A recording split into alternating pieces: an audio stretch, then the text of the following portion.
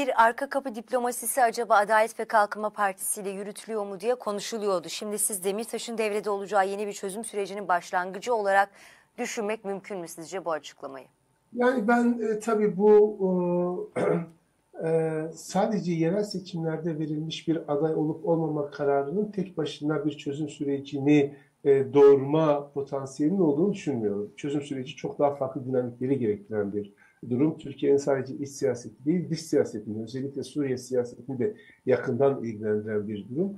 E, eğer e, devlet ile PKK arasında bu Suriye konusunda bir asgari mutabakat oluşmazsa bir çözüm sürecinin başlama ihtimali son derece düşük görüyorum. Ancak e, elbette bir adayın gösterilmesi e, bir diyalog, bir dirsek teması, bir müzakere sürecini açabilir iktidar ile DEM Partisi e, arasında böyle bir ihtimal söz konusu olabilir. Fakat e, burada bence asıl önemli olan DEM Partisi'nin e, bir müstakil parti olarak kendi kararlarını vermesinin kabullenilmesidir. Yani e, DEM Parti bu seçime girerken A partisi kazanacak veya B partisi kazanacak gibi hesaplara girmekten ziyade kendi vereceği kararın kendisine ne tür bir siyasal kazanım getireceğini e, düşünmek durumunda. E, tabanının görüşlerini dikkate almak durumunda, e, kendi partisinin e, isim değerini, marka değerini korumak durumunda vesaire. Dolayısıyla bütün bunları hesaba alması gerekiyor. Seçime girmemek veya seçime girmek hangi açılardan kendisine fayda ve zarar sağlayacak bunu düşünmesi lazım. Ee, benim gördüğüm e, seçmenin tabanı DEM Partisi'nin e, seçime girmesini istiyor. Dolayısıyla eğer e, parti tabanı parti tabanının bu talebine aykırı bir şekilde hareket ederse parti yönetimi bu parti yönetiminde zora sokan bir durum olabilir. Ee, peki bir e, hat değişikliği e, sorumu yenilemek isterim hocam. Siz bir tabii, burada E, bir şey görüyor musunuz? Selahattin Demirtaş e, ne düşünüyor bir, olabilir? Tabii tabii bir, bir, bir hat değişikliği var. Hiç kuşkusuz Demirtaş'ın e, ifadelerinde de e, DEM Partisi'nin siyasetinde de bir hat değişikliği var. 2015'ten e, çözüm sürecinin bitmesinden sonra DEM Partisi geleneksel olarak muhalefetin yanında yer almıştı. Bu yanında yer alma fiili bir şekilde gerçekleşmişti, hukuki bir şekilde gerçekleşmemişti ama hem 2019 seçimlerinde hem 2023 seçimlerinde DEM Partisi muhalefete de facto bir destek vermişti. E, o zaman da kendi siyasetlerini e, her halükarda iktidara kaybettirmek olarak açıklamışlardı. Ancak şimdi gerek DEM Parti yöneticilerinden gelen açıklamalar, gerek Sayın e, Demirtaş'ın adaylık açıklamaları gösteriyor ki e, mutlak bir şekilde iktidara e, kaybettirme ve muhalefetin yanında durma siyasetinden e, DEM Parti vazgeçmiş gözüküyor.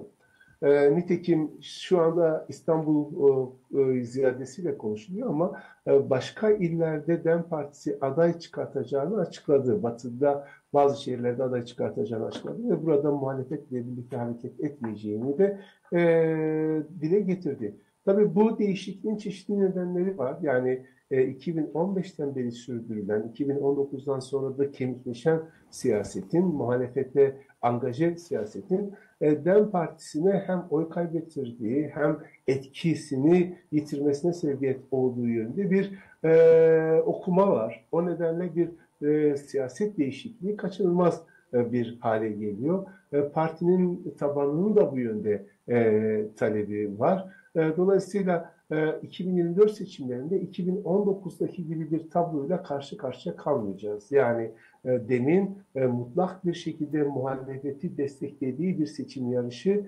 olmayacak görünen o hem demin yetkililerinden gelen beyanatlar hem Demirtaş'ın adaylık açıklaması bu hat değişikliği, bu tavır değişikliğinin bir göstergesi olarak değerlendirilebilir. Aslında tabanın da biraz e, eğiliminin bu yönde artık hani e, koşulsuz şartsız e, Cumhuriyet Halk Partisi'nin kurduğu ittifak desteklemenin hani DEM Partisi'ye çok da bir e, getirisi olmadığı yönünde tabanın da böyle bir rahatsızlığı olduğu yönünde açıklamalar vardı efendim. Şimdi E, ya şu aşamadan sonra siz şöyle bir şey düşünüyor musunuz? Yani başka birini aday çıkartmama kararı alması gibi. Yani Başak Demirtaş gibi bir figür bu açıklamayı yaptıktan sonra DEM Parti'nin ne kadar hareket zor, alanı kalıyor? çok zor. Habersiz de bir açıklama anladığım kadarıyla. Aday çıkartmama kararı veya çıkarttı Başak Hanım'ı değil başka birini gösterme gibi.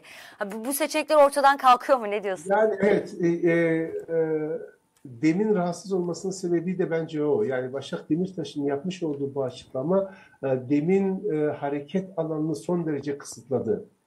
E, aday göstermediği takdirde alınacak bir yenilginin açıklaması olamaz. Aday gösterildi ama e, Başak Hanım'ın dışında bir aday gösterildi. Düşük bir oy alınması durumunda bunun da bir açıklaması olamaz. E, Dolayısıyla e, DEM Partisi biraz bu açıklama ile birlikte hareket alanı daralmış, biraz kıskaca alınmış hissediyor kendisini. Zor bir karar. Yani Demirtaş'ın dışında başka bir adayı göstermek zor bir karar. Çünkü e, DEM Partisi'nin tabanında Demirtaş'ın mağduriyeti, e, bir mağduriyet yaşadığına yönelik çok güçlü bir algı var. E, Demirtaş isminin toplumda bir karşılığı var. Şimdi bu isim e, eşi aracılığıyla tekrar siyasete geri dönmeyi istiyor ve konusunda çok net bir şekilde bir duruş sergiliyor. Şimdi demin bunu görmemezlikten gelmesi, hayır aday göstermiyorum demesi, aday göstermemesi son derece zor ve ağır olacak gibi gözüküyor. O nedenle de e, bu kararın belki partide müzakere edilmeden, yetkili kurumlarda görüşülmeden doğrudan kamuoyuyla paylaşılmasından e, rahatsızlık e, duyuyor e, ve bu rahatsızlık da zaten e, yetkililerin açıklamasından hissediliyor. Ama ben e, yani bu açıklamadan sonra artık seçime girmeme e, yönünde bir eğilimin e, ihtimalin de düştüğünü e, düşünüyorum. Yani e, toparlayabilecek en güçlü isimlerden biri, parti toparlayabilecek en güçlü isimlerden biri e, adaylık konusunda niyetini açık belirtmişken e, ve burada alınacak olan oylar partinin belki de toparlanmasına, bu düşüş trendini e, geri e, tersine çevirmesine sebebiyet olabilecekken e, bundan vazgeçmek, seçimlere girmemek artık çok zor alınabilecek bir karar diye, diye görünüyor. Peki hocam çok teşekkür ediyorum değerli katkılarınız için hocam. Çok sağ olun. Ben teşekkür ediyorum. Sağ olun. İyi yayınlar. Efendim çok teşekkür ediyorum. Dün da, e, Muharrem Bey de yazmıştı. Bugün Rüken Hanım da yazmış. E, bir haftalık bir aradan sonra hoş geldiniz dileklerini iletmiş. E, düzenli izleyicilerimiz e, çok teşekkür ediyorum. Çok sağ olun. E, Muharrem Bey diyor ki DEM Parti, AKP ve CHP arasında hiç fark yok mu demek istiyor. AKP yerel seçimlerde güçlü çıkarsa bu DEM Partisi için daha iyi mi olur? AKP yerel seçimlerde güçlü çıkarsa baskıları daha da arttıracaktır diyor. E, işte bu acaba şu burada da şu soru işaretlerini sormaya çalışıyoruz e, izleyici, izleyicilerimiz için konuklarımıza. E, yani bu Adalet ve Kalkınma Partisi'nin yerel seçimlerden güçlü çıkma ihtimali bir yandan da demin paradigmasına veya siyasetine, perspektifine e, alacağı pozisyona bağlıysa acaba yeniden bir görüşme kanalı, işte bir takım taleplerin yeniden masaya gelmesi, diyalog vesaire gibi e, pazarlık unsuru da olabilir mi acaba? E, Dem böyle bir strateji izlemek ister mi? E, izler mi?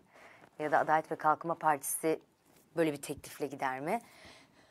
Bunları aslında sormaya çalışıyoruz, e, konuşmaya çalışıyoruz. Siyaseti izleyip göreceğiz, bekleyeceğiz neler olacak. E, heyecanlı bir yerel seçim süreci. Her seçimde böyle bir muhalefet seçmeni özellikle e, yıkılıyor ama yine her seçimde galiba tekrar tekrar e, heyecan duymaya da devam ediyor.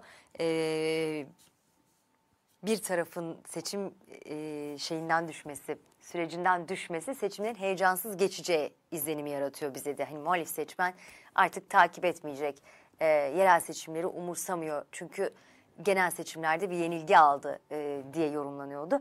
Şimdi yeniden sanki bir toparlanma var. Biz gazeteciler açısından da e, bu iyi bir şey tabii ki. Ne kadar her iki tarafta aynı e, şevkle seçim sürecine dahil olursa bizim açımızdan da konuşulacak o kadar çok şey var demek oluyor.